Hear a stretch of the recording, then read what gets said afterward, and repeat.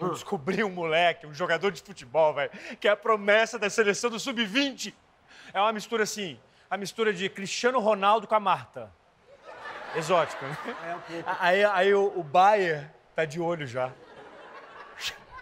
Mano, eu não sei no que isso vai dar, entendeu? Mas eu tava aqui pensando, eu tô fazendo uma vaquinha pra comprar uma moto pra mim, entendeu? Você podia contribuir, né, Tomás? Com, com certeza, com certeza. Não agora, né, irmão? Que negócio de futebol, você investe lá no jogador, depois que vem o retorno. Mas quando vier, te dou uma Ferrari. Você vai me dar uma Ferrari? Não, eu compro a Ferrari pra mim, aí vem aquelas motinhas de brinde, eu te dou, te dou, te repasso. Ah, firmeza. Bom, vou ficar aqui na torcida, hein? Boa, é boa. nóis. Não esquece de torcer. E outra coisa, irmão, funciona. Sorriso da riqueza, ó.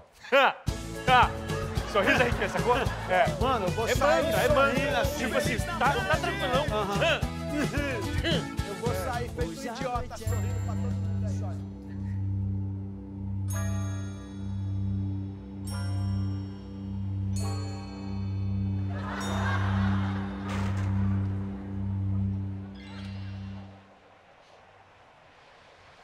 Dona Nivalda! Ai, que susto! Mania desse pessoal do subúrbio de entrar assim sem avisar. Você tá louca, né? Você que entrou no meu apartamento, gata. Não faz a Wainona pegando o meu viado, não, tá? Devolve o David Brasil. Olha aqui. Eu não tô pegando, eu não tô roubando, eu tô apenas confiscando. É proibido aqui nesse prédio usar esse tipo de decoração na varanda. Inventou uma regra agora do nada. Isso aqui tá no estatuto do condomínio. A gente fala nas reuniões que o, o senhor nunca participa. Sou usurpadora. Quem é do Meyer não bobeia. Eu já catei tudo. Você também tá querendo participar desse concurso aí, pisca-pisca do Leblon? Aí tá querendo me boicotar. Ah, pelo amor de Deus, olha bem pra mim. Olha pra minha classe. Vê se eu vou participar de concurso de pisca-pisca. Além do mais, essa decoração, essa decoração tá muito cafona. Isso aqui, isso aqui tá parecendo o Meia. Como ousa falar isso da minha decoração e do meu bairro? Olha aqui, eu ouso falar o que eu quiser.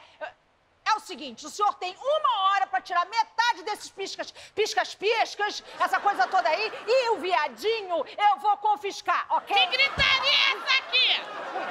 Não é nada não, não é nada não, dona Tereza, não tem discussão nenhuma. A gente só tava conversando sobre as regras do prédio, eu tô de saída. Não deixa ela sair, não, Tereza. Que ela tá querendo roubar o meu David Brasil, o meu viado, e querendo me boicotar no concurso. Como é que é? Você tá querendo pegar o viadinho do viado? Você não vai sair. Olha aqui, isso aqui agora é cárcere privado. Você só sai daqui por cima do cadáver de Tereza. Quer saber? Um dia Bebeto contou a história do pisca-pisca aí da dona Lindalva.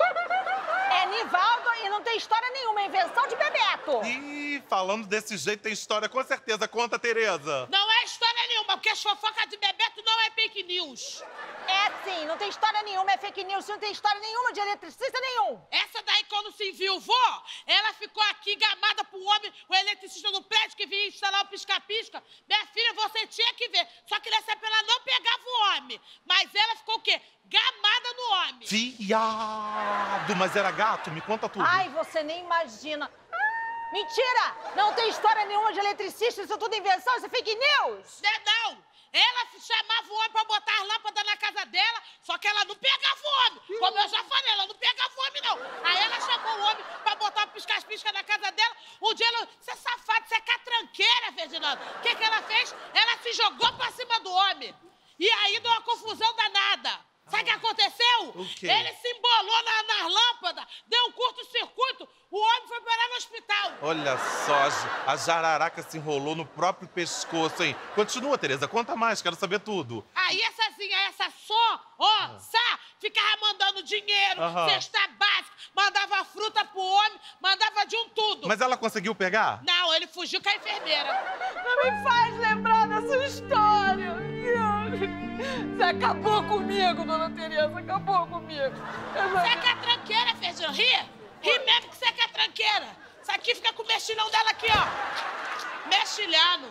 Minha santa Manu Gavassi. Olha, um boy é capaz de destruir qualquer pessoa, né? Até a dona Nivalda. Fiquei até com pena dela. Eu também fiquei com pena, viado, mas já passou, que eu tô cheio de problema. É. As crianças lá do Ceral estão sem Papai Noel, estão sem o Bom Velhinho. Mas minha comadre falou que ia me ajudar carrabanada. Agora o Bom Velhinho eu tô sem.